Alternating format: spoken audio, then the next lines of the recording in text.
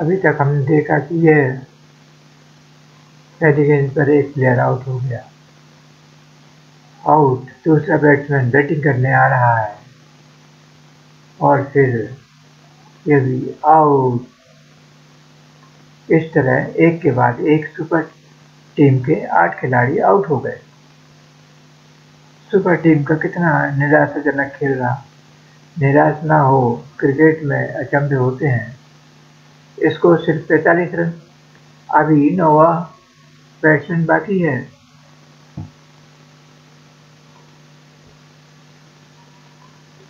नवा बैट्समैन साबू आता है। इस लंबू की विकेट भी मैं दूँगा। गेंद बाउंड्री के पार गई। अंपायर चार रन का इशारा कर रहा है। वाह धड़ा बाउलर अगली गेंद फेंकता है। फटाक, छक्का। इस तरह साबू चौके छक्के मार मार कर, मार मार कर उसने स्कोर को चार सौ, दो सौ पैंतालीस तक पहुँचा है, पहुँचा था पहुँचा दिया था। अब जीत के लिए सुपर टीम को एक रन चाहिए। स्टार चौका। सुपर टीम के कप्तान को जीत का कप्तान किया गया। मैं बर्बाद हो गया। लैंडमाइन चाचा चौधरी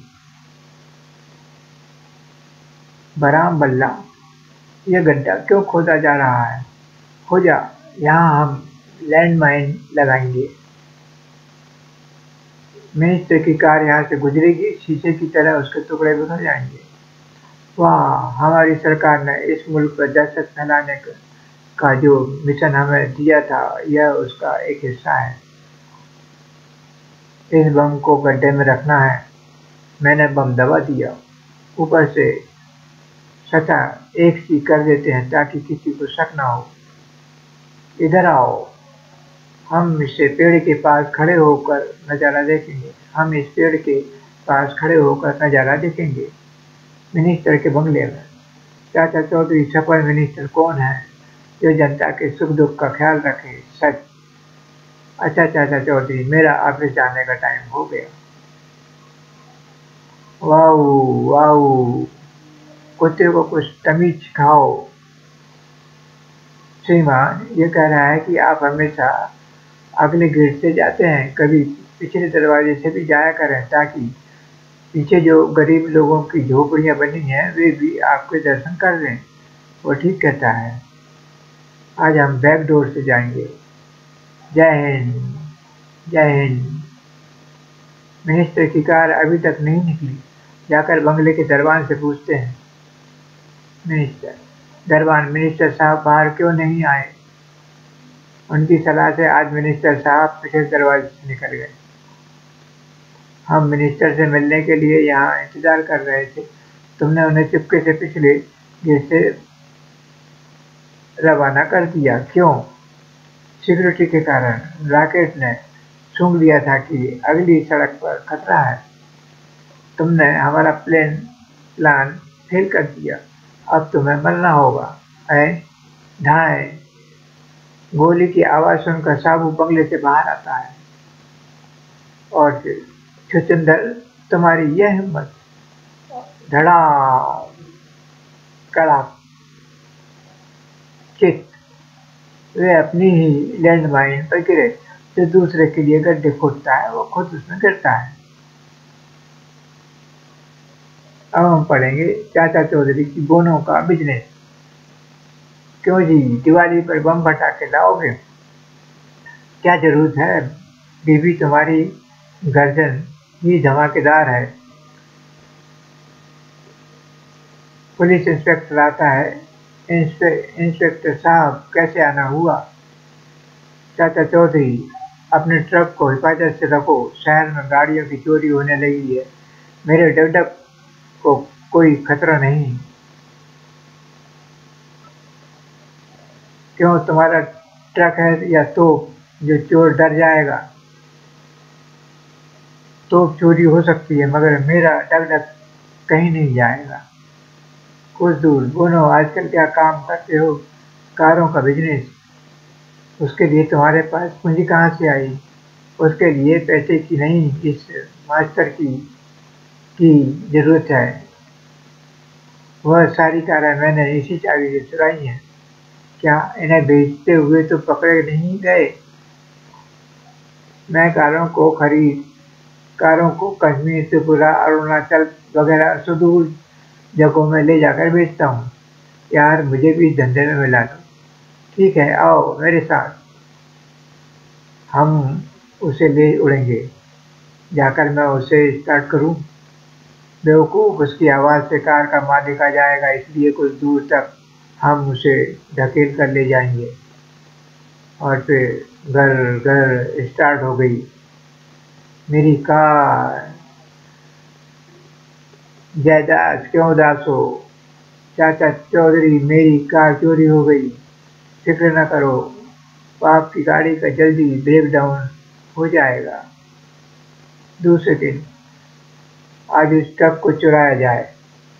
इसमें लाद कर चोरी की कारें दूसरे शहरों तक ले जाई जा सकती हैं।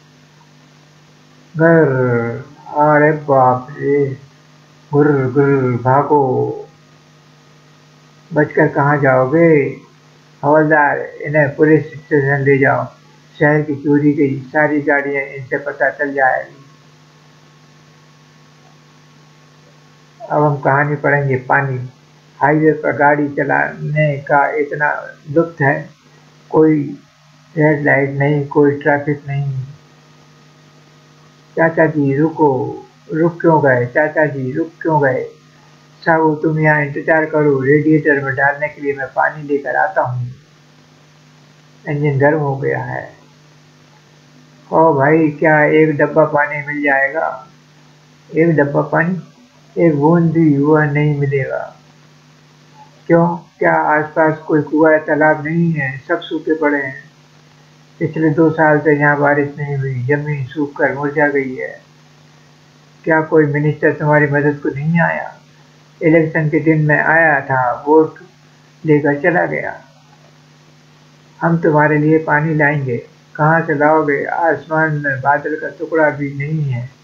ऊपर से नहीं, हम नीचे से पानी लाएँगे। साबू। अब उसकी ताकत देखना। इतना लंबा चौड़ा आदमी मैंने आज तक नहीं देखा। हो, धड़ाम। पानी पानी तुमने सूखे में तुमने सूखे से ग्रस्त गाँव को पानी दिया हम चाहते हैं कि तुम इलेक्शन लड़ो हम सब वोट देंगे साबू मानता है कुर्सी पर बैठने से उसे जंग लग जाएगी he is a man of action चाची पानी मिलने के बाद डब डब ट्रक सर पर दौड़ रहा है चाचा जी पानी मिलने के बाद डग डग ट्रक सर सर पर दौड़ रहा है, क्योंकि वह आधा मशीन है और आधा इंसान।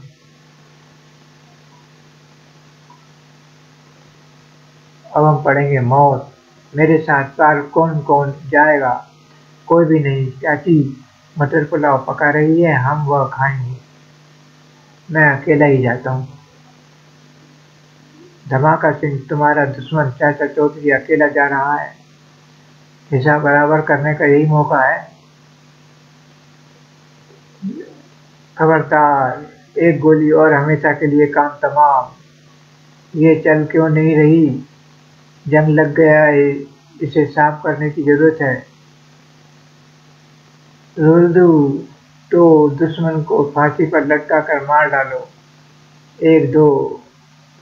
तीन और तीन। धड़ाक, कड़ाक आऊ हाय, मर गया। उस्ताद, इस तलवार से उसका सर गाजर की तरह काट दो। इस बार कोई गलती नहीं होगी। और फिर, ओ, तलवार अटक क्यों गई? अरे, ये क्या? धड़ा गिर गिर तो जाओ। चाचा जी, चलिए घर पर खाना तैयार है। अब चाचा जी की अगली कहानी का नाम है अकलबड़ी या भैंस। गालो, तुम्हारे जिस्म की मांसपेशियाँ बलिष्ठ हैं। सारा मैं ताकत का पुजारी हूँ, बल के आगे सब झुकते हैं। लेकिन कुछ लोग ऐसा नहीं मानते। जाओ, किसी एक आदमी को पकड़ कर लाओ जो ताकत की बुराई करता हो। चलो भाई, सारा लगता है आज गालो मस्करी के मूड में है। ताकत, क्यों भाई सुल्तान? ताकत ज़्यादा बड़ी है या अकल? ताकत जहाँ है। जिसके हाथ में ताकत होती है, वो सारी दुनिया पर हुकूमत कर सकता है। तुम सच कहते हो, आगे बढ़ा जाए। चाचा चौधरी, ताकत बड़ी या दिमाग? दिमाग। जहाँ ताकत फेल हो जाती है, वहाँ बुद्धि काम कामयाब होती है और हम आगे पढ़ेंगे